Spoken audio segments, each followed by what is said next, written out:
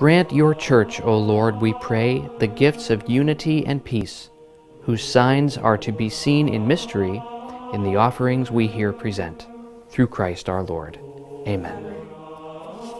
The prayer over the offerings is similar to the collect at the beginning of Mass because it again collects our prayers and intentions and it asks God to receive us along with the gifts which are about to be changed into the body and blood of Christ on the altar.